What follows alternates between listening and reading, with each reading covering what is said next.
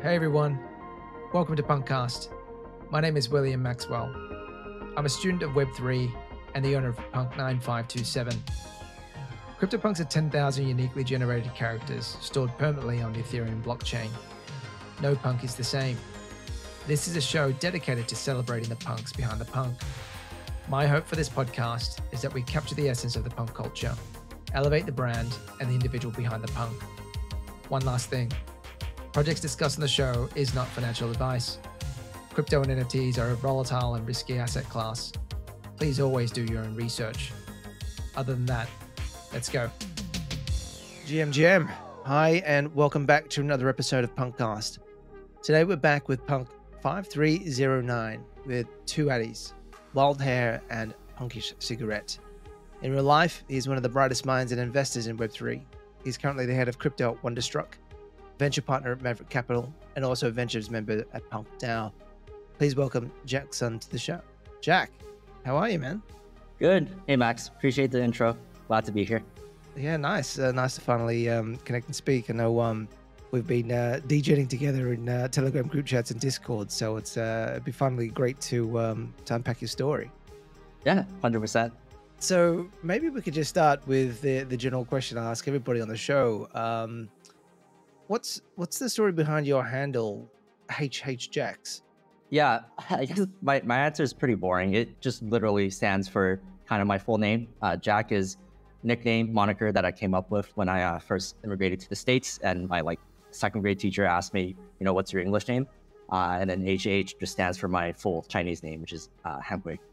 Okay, nice. Well, why don't you tell us about your your background and your journey? I think um, maybe we start from there, and then um, we can we can sort of wander into the, the world of crypto.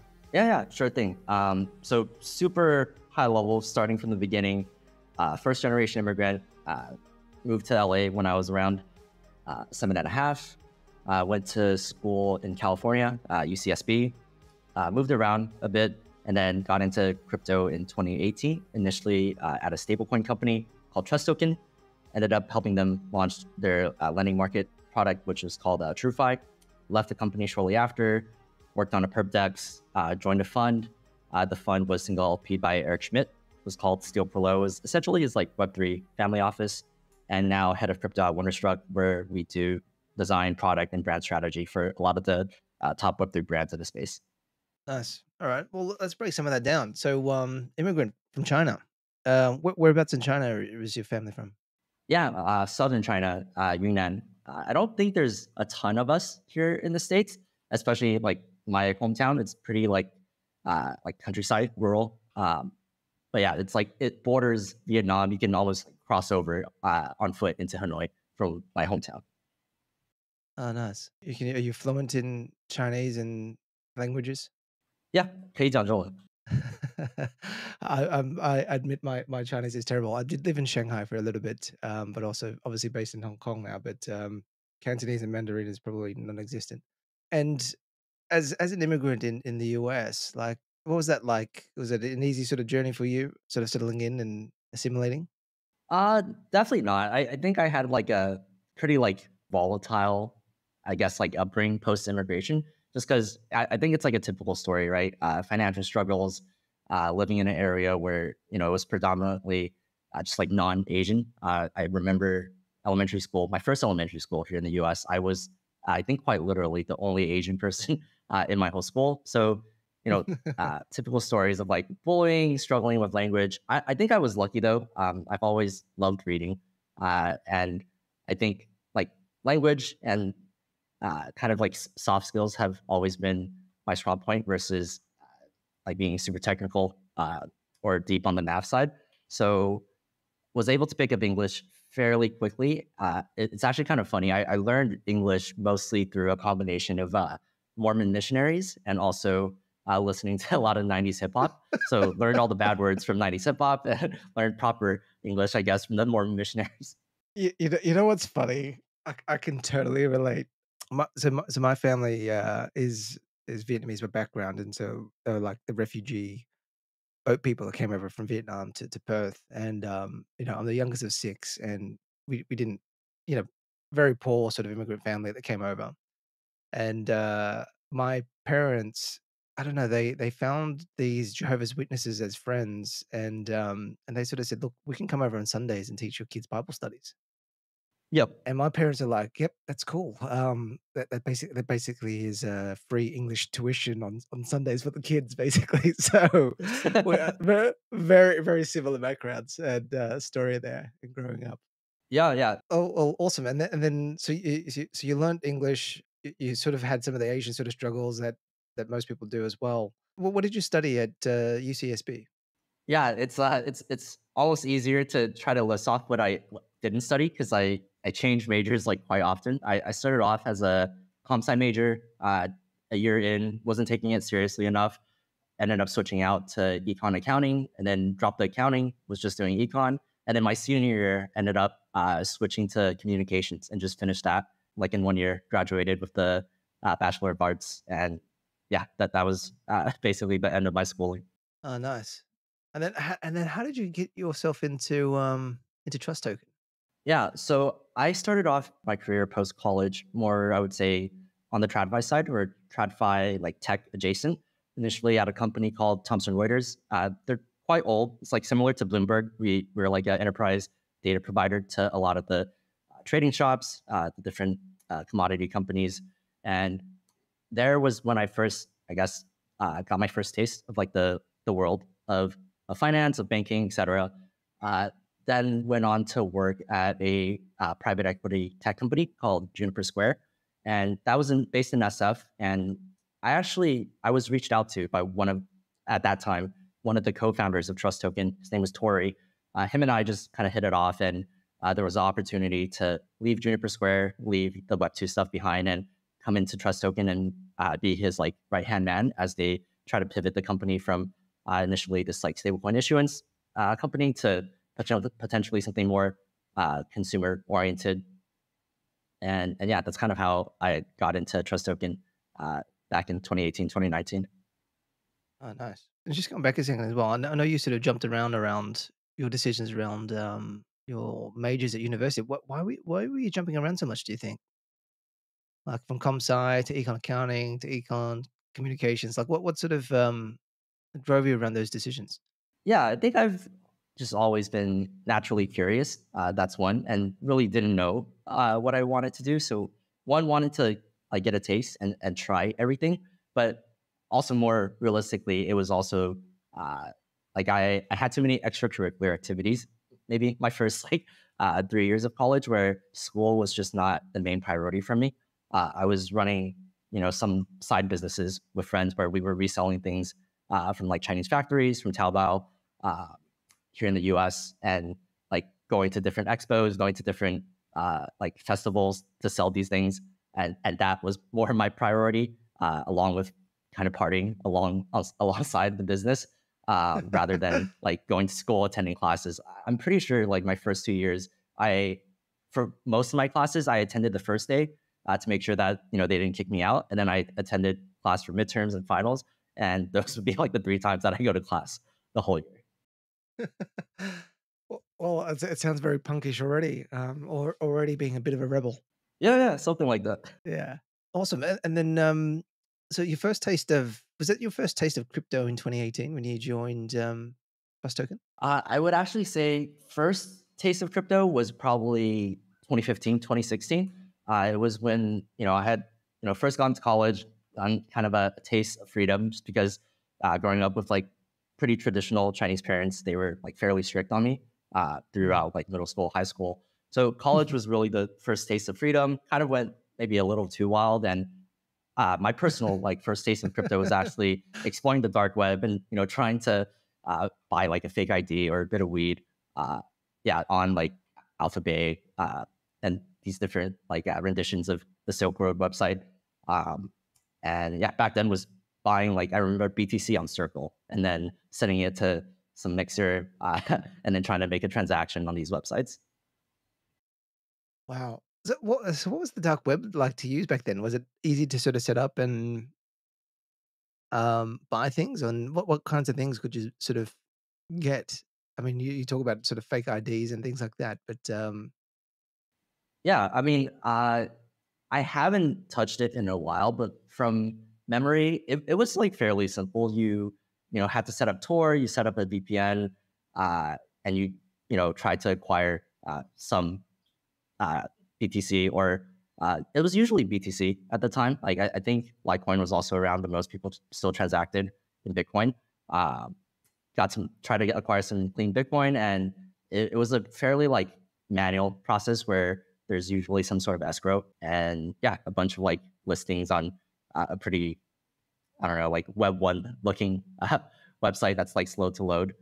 Um, it was everything from fake IDs to yeah the typical run of the mill like drugs as well. Gotcha. Uh, but but how would they just would they just like would they just like send it to your mailbox or? Yeah, yeah, they would quite literally just uh, send it to the mailbox. Shit. Okay. Oh man, wild times. Right. So so then so you worked at Thomson Reuters. What was Juniper Square? What was that company? Yeah, Juniper Square was uh, investment management software. Uh, so basically like a LP portal with a couple more features. Um, that also doubled as like a, a data room for uh, the private equity space, which at that time was still running mostly on spreadsheets. I think Juniper Square has actually gotten a decent amount of adoption. They they have something crazy like uh, I think more than like maybe like 10, 20 billion uh, AUM in terms of like the funds that are uh, like managing their portfolio on top of Juniper Square. But yeah, it, it's basically just software for uh, these different real estate funds to be able to communicate uh, deal opportunities and also deal updates uh, with their investors. Gotcha. Okay, so then you, you got into the dark web. You first tasted crypto. That would have been like twenty, like early, right? 16, 17 ish. Yeah, it was like between 2014 and 2016. I want to say. Like I distinctly remember one of the tokens I was trading at the time. Back then, it was still just like looking at threads on uh, 4chan and, and Reddit. It was uh, AntShare, uh, which later rebranded into Neo, the the uh, Ethereum of, uh, of China that was getting pushed yeah. pretty hard back in those mm-hmm. days. Yeah, yeah. So I, I, distinctly remember trading that coin and paying off some college debt with, with the profits there. But back then it wasn't very deep. Like I I was, I guess, just you know shitcoining on centralized uh, exchanges and uh, buying Bitcoin to try to get like fake IDs. Um, not not too deep into the tech at that point. Do, do you mind me asking you what you were buying the fake IDs for? Uh, I think it was just to like go out to clubs, uh, as people do back then, uh, before I was oh, 21. Gotcha, gotcha. And, and, what did you make of crypto back then? Was it just more of a, a means just to play on Silk Road and the like? Did you? Did I, I guess the the crypto fundamentals and foundations really hit you and get? Did you get red pilled at, at uh, that early in the in the in the game? No, so I uh, to me it was just a means to end, a way to you know get the end the end product of what I wanted, which at the time was my fake IDs. I don't think I got red pill till after I joined Trust Token, really, because uh, I got my I would say like my my fundamental knowledge there and my my schooling really there from uh, the colleagues and some of the co-founders that were there at the time. Yeah, nice. Well, do you want to talk a little bit about your your journey at Trust Token? You know, what that is and how you got started there. I mean, I used to use them uh, back in the day, but I think they closed off the off ramps. Um, but to me, it was a really great way to get on ramp and off ramp with with some size and uh, limited sort of slippage, right? Um, but yeah, it's a bit of a shame I can't I can't get off anymore or can't get on. Yeah, yeah, yeah. Happy to share a bit about Trust Token. It, it was a honestly a great first step for me into crypto and uh, really kind of where I cut my teeth.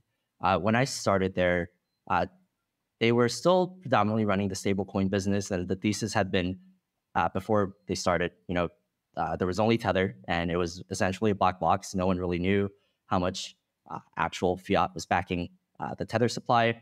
And the idea was that Trust Token TUSD would be the first US based stablecoin startup. And they raised from really good folks from like Founders Fund, A16Z, some other US based Web3 and Web2 investors. And for a while, it was fairly successful. Uh, I think for a good time, we were always within like the top three, top five uh, stable. But I think past like, you know, 2020, 2021, uh, they just realized that there, there was no beating uh, USDC because of the distribution that they had with Circle. And we needed to pivot. And that's kind of around the time uh, where I joined, where we had started to realize that you know, uh, perhaps we're not going to win out at the at the stablecoin business, and we need to figure out what else is there for us to do uh, to kind of uniquely claim as ours as a moat. Uh, so we explored some consumer applications. Uh, I, you know, worked with Visa, had gotten us into this like Visa Fast Track program, and we had thought about essentially launching an anchor-like app where we would offer a yield baked into TUSD, um, but it wouldn't be like 40% or anything crazy like that. It would have been uh, something more stable, like a 10 to 15% yield.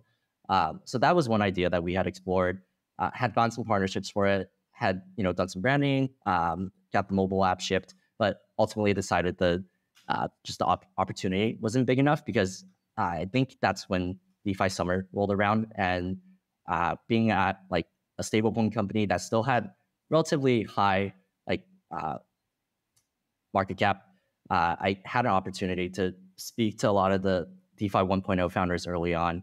Uh, so yeah, Michael at Curve, Stani from Aave, because they all wanted stablecoin liquidity uh, on their protocol at that time, and basically got, I, I guess, like a head start to uh, to this whole DeFi craze that popped off in, in 2021.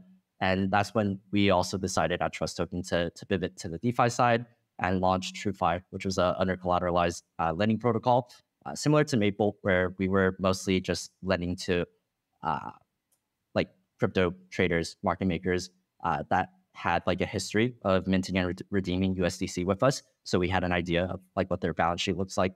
Uh, and then I left the company uh, after we attained like some success on the TrueFi side. I think we got to at peak maybe like 250 or 500 mil TVL. Uh, I left the company at that time mostly due to the fact that uh, they decided to sell the IP to, TUSD to Justin Sun, uh, which I think now is like public knowledge because uh, TUSD has like been delisted on uh, like many exchanges, and we've seen some like uh, ir- irregularities uh, as far as like the the mint redeem uh, on chain history uh, for TUSD. Uh, and I left the company at that time. One because like I one just didn't really want to associate with Justin. I, I didn't think it was uh, necessarily the right decision. And then two, more like personally and selfishly, I was the one uh, Chinese person at the company that was investor facing and customer facing and uh, like partner facing. And my last name is also Sun. So I would get like a ton of weird questions, you know, like, hey, Jack, how much did you get out of this deal? Like, how, how did you close Justin on this? I'm like, I, I don't even know him. I've never talked to the guy. so I, I got out of there pretty quickly after that. Are you guys related? Like, oh, funny, hilarious. Did, did you did you ever get to meet Justin?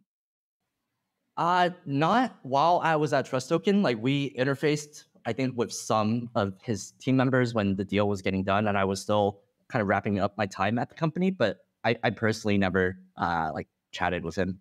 Ah, didn't uh, didn't didn't know that. So Justin bought the IP to Trust Token. Not so is it is that Archblock or is that different?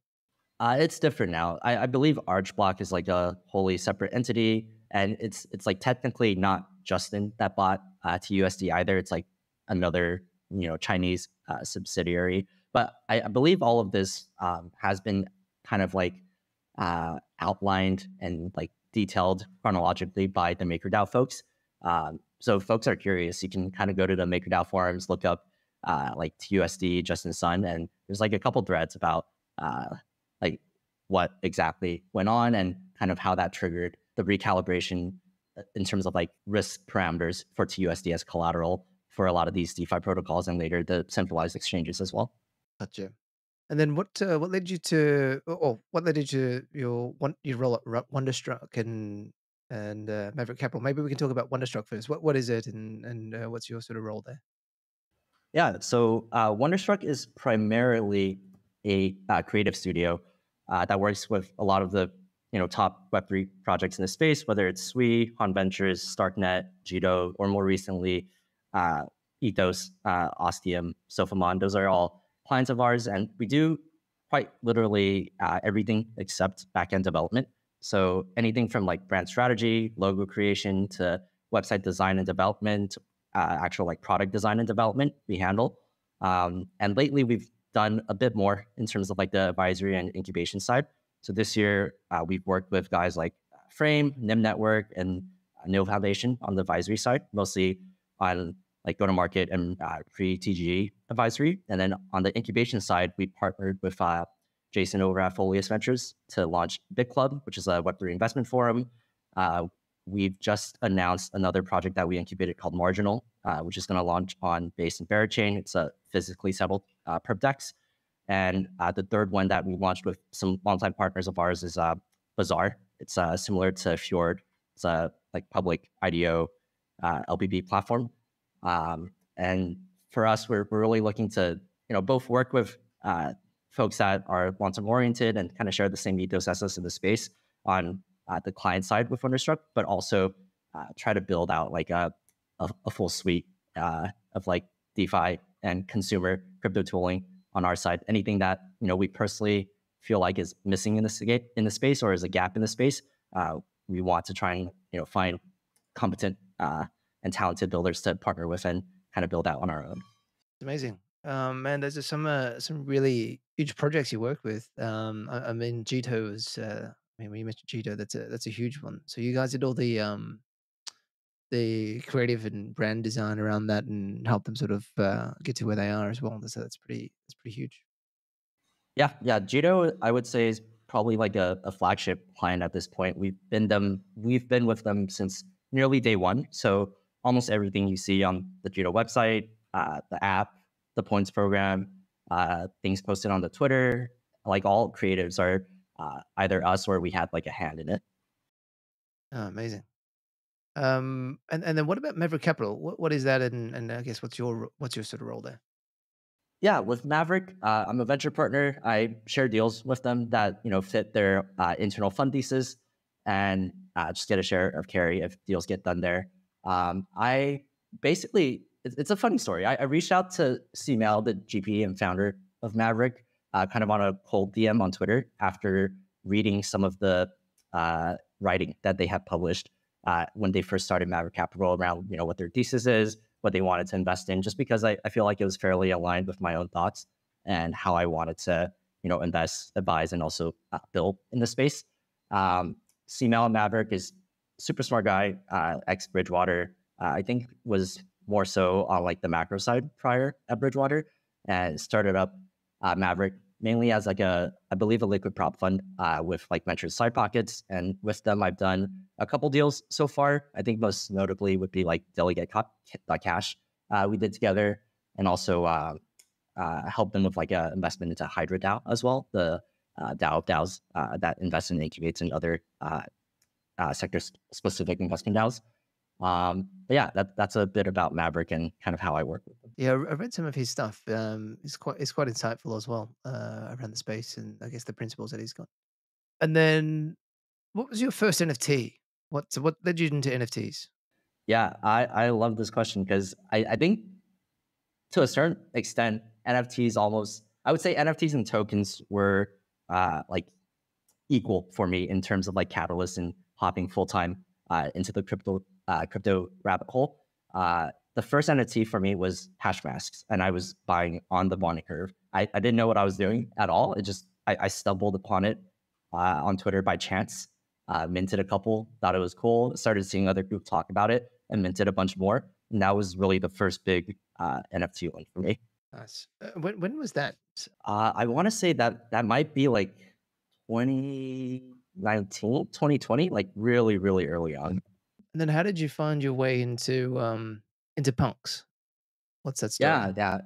For uh for punks, I, I have to shout out uh, Peter Pan over at 1KX for that. Um, a- after Trust Token, I worked at a 1KX Portco uh, that was building like a peer to uh, pool AMM uh, prediction market, and Peter was one of our lead investors. So we would have you know uh, monthly, weekly sync ups sometimes, and he was the one that really shielded me on on CryptoPunks. Uh, I think one year before, either before ETH Denver or uh, one of the the DAO conferences uh, in in Denver. He he just what was adamant that like I need to buy a CryptoPunk. So I think I bought my first one done for maybe like two and a half, three ETH, uh, and that was the the first step into the punk world.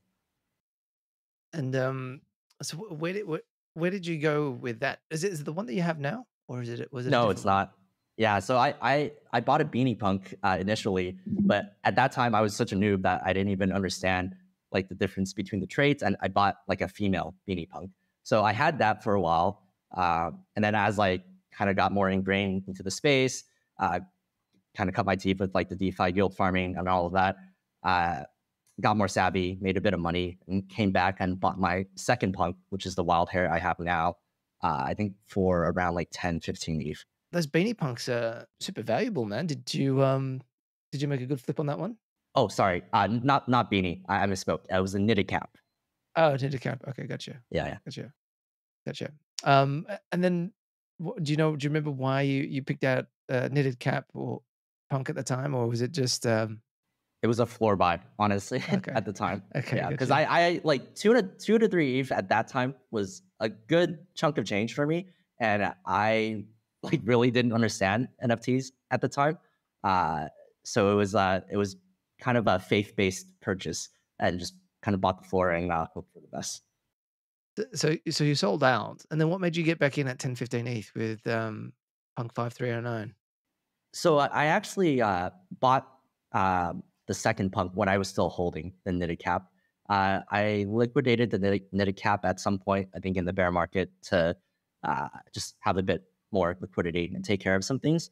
Um, but yeah, was was always like pretty bullish, uh, even in the last NFT uh, bull market last cycle on punks.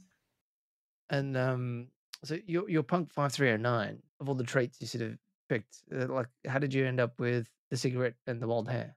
Uh yeah, so two things like I I don't like doing my hair. So uh, my hair is pretty wild in the morning and it's it's I guess just more uh natural looking to me. Uh and then the cigarette uh, I think at the time when I purchased the punk, which was probably, you know, leading up to the bull cycle, I was like smoking uh quite a lot uh just because of like how little I was sleeping at that time. Yeah, I remember the time. That's uh, kind of crazy. Were you engaging much with the punk community at the time? Yeah, and you know, I, I was uh, in the punk Discord, and I think back in those days there was actually quite a bit of alpha uh, in the in the punk Discord. Uh, people would drop, you know, mints early, art blocks alpha early, and the punks Discord is, how I got into art blocks as well. Ended up like minting quite a few squiggles, quite a few fidenzas. Uh, didn't sell them at the top, uh, uh, unfortunately, but that was still a good experience. Uh, got some profit out of it, and still holding a few of those as well. Yeah, nice. Man, I um, I, I remember those days. There, there was that was like the the the where all the alpha came from, right? In those chats. So uh, as soon as something was being, you know, spoken about or shilled, I mean, you could sort of see, literally see the floors moving as the discussion was going on.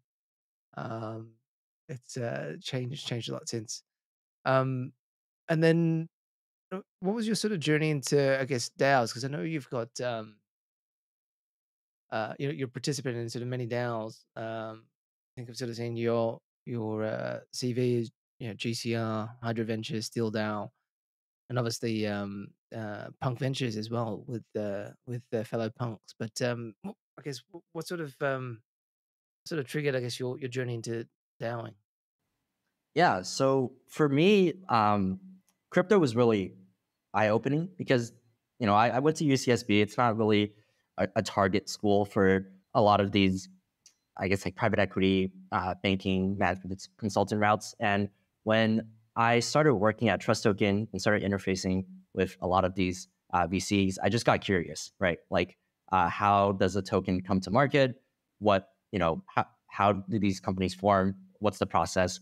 what is the point of like raising venture capital? Had all of these questions. Uh, didn't really have too many answers. Didn't really have uh, folks like around me or like a really specific mentor that was like uh, teaching me these things. So for me, the the best way to learn at that point was uh, DAOs. I was able to find GCR, I think just through Twitter uh, or through like a friend's recommendation, and bought some of their token. Uh, started seeing uh, some of the deal flow. Started seeing the ways that like the community members and the contributors would uh, basically put together these deal memos, run these diligence call, diligence calls, and got my first taste at uh, kind of like the uh, investor slash analyst uh, role on the crypto venture side. And uh, I was pretty hooked. Uh, it was really interesting to me. I like you know working with early stage founders. I like helping people uh, you know through the idea maze and trying to go from like zero to 100 or zero to one. Sorry, in this case. Uh, so just got addicted to participating in DAOs because it felt like it was the one way for me to acquire uh, like an insider network and also insider knowledge without really being an insider. And I think that's one of like the great things about these DAOs as well. Like uh, I was able to kind of like rub shoulders with uh, GPs, associates, partners at all of these different funds that I had only uh, kind of read about or heard about uh, through Twitter. And it was a great like learning experience for me. Mm.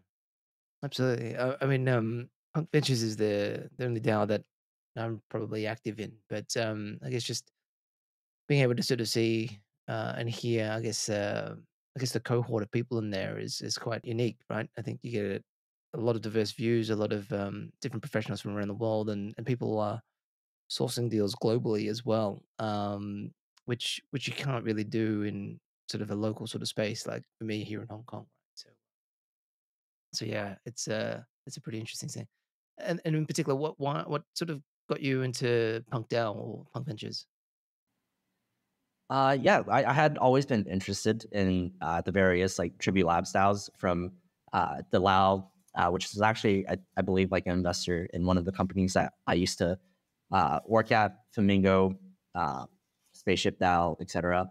And uh, I think it was just right place, right time. Uh, Punk DAO seemed to be like forming at the time. Uh, I, I, felt like fairly early. I saw a couple folks um, in the Discord early on that you know I felt like they were pretty serious about making Punk DAO a success and uh, pushing it to be you know somewhat unique beyond uh, just being another like Tribute Labs investment DAO that invests in token projects. So just saw an opportunity to uh, contribute to something that can be bigger than myself. And I was, uh, uh, I, I, guess I was aligned with the thesis of Punk DAO as well, just because uh, I personally like had an opportunity to, uh, you know, buy into Bored Apes pretty early, even to mint. But at the time, I, I was just such a punk maxi that I, I found it like blasphemous that anyone would compare anything that, to punks in terms of like the, the on-chain provenance, the, the story uh, with the founders, and uh, yeah, just being like an innovator in our space in general. Um, so I've always been like a, a punk maxi and think even if like most NFTs die, uh, punks still hold some intrinsic cultural uh, value. So yeah, being that, you know, the secondary, I guess, uh, goal of Punk DAO is actually to just acquire more punks. It, it felt in line with um, kind of how I wanted to spend my time and capital as well. Where, where do you think we go from here, Jack? I know you're um, a, a punk maxi and into NFTs and also a really good investor as well. But where, where do you think sort of, you know, what is it? It's it's May 2024. Um, it's the market's a little bit choppy. ETH NFTs are not super active and super liquid right now. But where, where do you think we go from here? Yeah, I mean, personally, I, I think local bottom for ETH is in, and it's like the, the most hated coin on my timeline. Uh, everyone thinks ETH is going to zero. No one's going to use it anymore, et cetera, et cetera. Um, I, I, think it's a good time to to be uh, buying ETH. NFTs, I'm less sure about. Uh, punks, I have no you know worry about holding, and they, they can be productive assets. You can borrow against your punk Gondi. Shout out to Gondi. That's one of the portcos for us, I believe. Um, and yeah, there's tons of ways you can uh, put your like NFT to work uh, with your punk. So uh, I think of it as like a pretty productive asset that I hold. Um, but for other NFTs, yeah, for the most part, it's dead. Uh, the only like select NFTs that have had some success, I think, have been mostly on the gaming side, and that's purely because there is a expectation of a token airdrop at some point. Um, yeah, I would. Beyond that, I, I don't think like PFPs or any of like the generative art is gonna make a comeback in like a meaningful way, at least in terms of price. That's not to say um, that there can't be like on-chain innovation with like the generative NFTs with music NFTs, but I don't know that we'll see the same type of like price uh, or speculation run up for NFTs this cycle as we did last cycle. Yeah, I'm probably in the same boat, which is um, which is a bit of a shame. Um, feels like all the uh, the meta's gone to meme coins, um, but but maybe ordinals. There could be something there. Um, sort of feel like there's something brewing and bubbling there. But uh, okay, and um, for this cycle as well, like how, how are you sort of placing your bets? Like you know, what's your sort of thesis around how this sort of plays out uh, between sort of you know privates and liquids, and and and what sort of sectors and areas are you sort of um, bullish on? So there's a couple like I guess like core beliefs that I've held since last cycle. I, I have it like written out publicly um, on like this Notion page that's also doubles as like my portfolio slash website www.hhjax.xyz. And one of them is that you know credibly neutral block space becomes a really valuable commodity in the future. So I'm bullish on MEV. I'm bullish on ETH itself because it's still the most credibly neutral block space um, bullish on account abstraction and have invested uh, in that sector quite a bit. Uh, smart wallets on uh, new primitives that smart wallets enable, uh, things like being able to like trade your wallet or reassign illiquid incentives like points from wallet to wallet.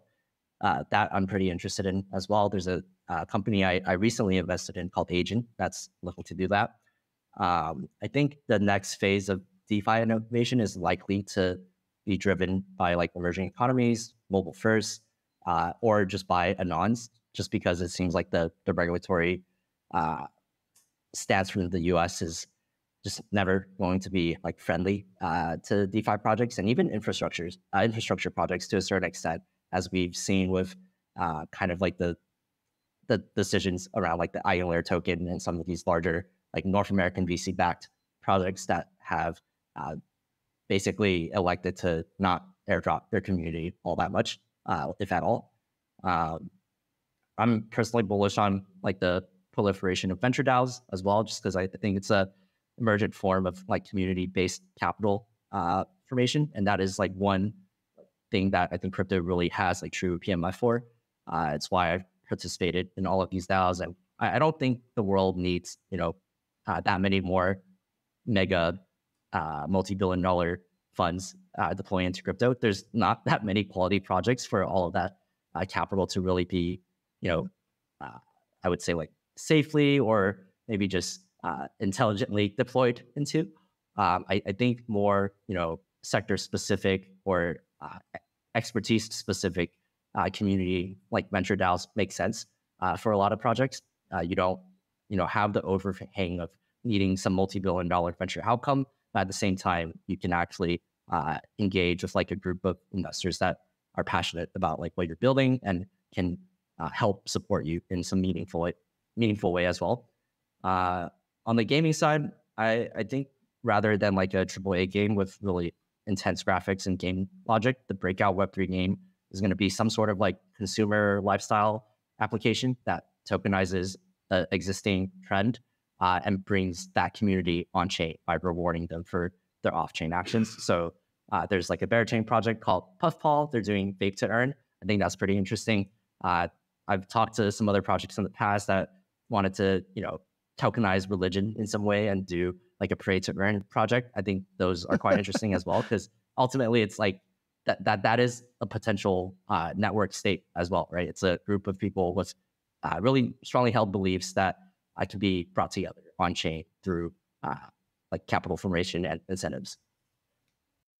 That's a that's a, that's an interesting sort of take as well. I never thought about that. Um, you're right. I mean, at the end of the day, I think the, a lot of these tokens are basically uh, religions in some ways, right? Um, we all get together and and um, and pray for the best for our tokens and uh, build strong bonds over that. Awesome. Um, and then uh, just flipping it back to to punks for a little bit now. Um, uh, if if money wasn't an issue, what would be your dream punk? Do you think? Uh, if money wasn't an issue, I, I probably would want to grab like a alien punk or or maybe a zombie punk. Uh, just I think it's it's like nice for the historical significance, and I've seen uh, aliens and zombies like printed out on like a nice piece of uh, uh uh, paper and like framed in the office, and they look quite nice. I, I like the vibe, so I, I, think that would be uh, the goal if money was no issue. Gotcha. Um, and then uh, what what are you are you collecting much these days, or are you just sitting on your sitting in your bags for Yeah, uh, I'm, I'm collecting a bit cautiously. Uh, so I am uh, a, like decently sized holder of uh, Pirate Nation founder pirates. I'm pretty bullish on that team, uh, just because they've done it before uh, with Farmville. Uh, they're you know I think building and leaning into all the right narratives in terms of like a, a fully on chain game. Uh, also building their own uh, app chain uh, called Proof of Play and potentially launching other IPs on that chain. So pretty bullish on the Pirates. Try to play, you know, every day, keep my streak going. On Solana, I unfortunately uh, rotated a lot of like my early meme coin profits into uh, Mad Lads and Tensorians and have been staking my Tensorians. so that hasn't turned out as well, but I'm, I'm hopeful for like the Solana NFT comeback. And if they do come back, I, I don't see like better bets than uh, those two projects as far as like blue chips, at least. Um, there's another like interesting NFT project that also doubles as like a the NFTs double as like an entry into the investment DAO. It's called the uh, Cyborg DAO Keys. Um, this one's kind of cool. It's like a, a DAO that you know raised a bit of money, um, and they are the largest collector of uh, AI AI NFTs, pretty much um, uh, in the world right now. So I believe they hold most of the uh, artwork that was generated by the Botto project, uh, if you remember that one. Um, but yeah, that's a that's another one that uh, I have a bit of exposure and just in case there's like a, I don't know, an uh, AI NFT uh, narrative that pops off or something. Yeah, I think this one that one's been pretty hot, right? I, I don't I don't know. I'm not sure if you've seen the alignDRAW um, AI NFTs. That was like, uh, I mean, they've had a bit of a run in this sort of bear market as well. So I think AI will definitely ha- catch a bid this, this uh, cycle.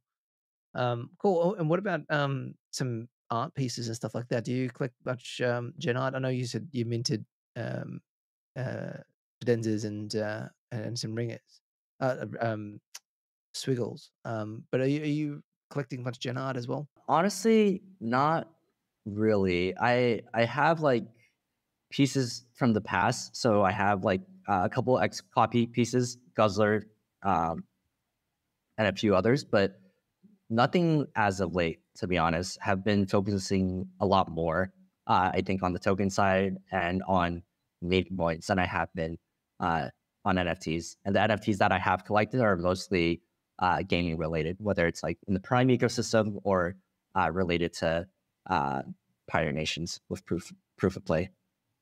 And if you if you look back at your NFT sort of career, what's your um, what's your sort of best win and and worst loss? Yeah. Uh so best wins. Hmm, uh, probably the punks that I bought early on was one of them. Uh, loot I minted a ton for free uh, during the Genesis event, uh, where you had to like you know go on either scan and basically guess uh, guess uh, numbers and hope that you know you guess the right one or you guess an unminted number to be able to mint the loot NFT. And then from loot, uh, that went into a gold and then treasure, which I then staked for magic. So the loot to like treasure to magic uh, journey was probably the, the best NFT win I had end to end because that was, I guess, like purely free, uh, no upfront capital spent. I, missed I missed all of that. I, I might have gotten to the beanies blue and got absolutely wrecked in that one, but um, I missed the original one. Nice. And and um, how would you describe punk culture for you?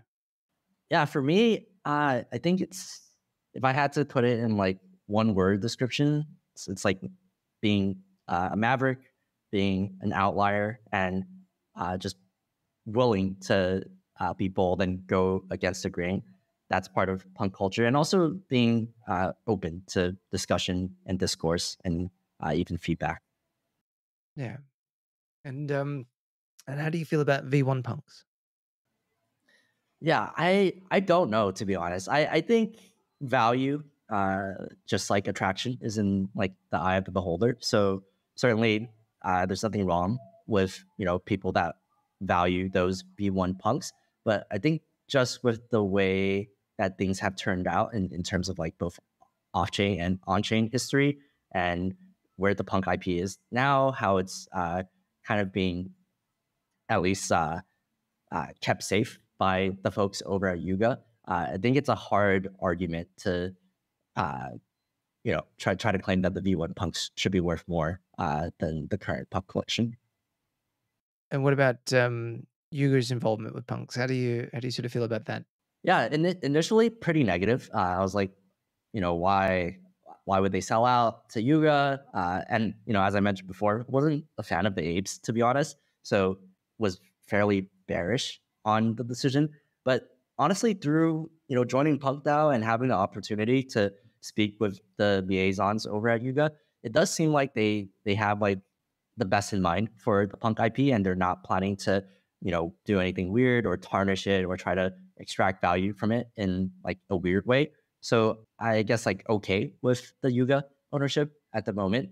Uh, I my only like kind of open question is, um, how can we encourage and incentivize more of like the Web3 builder community to like build on top of and use the Punk IP uh, a bit more freely without having to worry about, uh, well, Yuga shut shut us down if you know this is competitive or if this infringes upon you know something else that they're doing.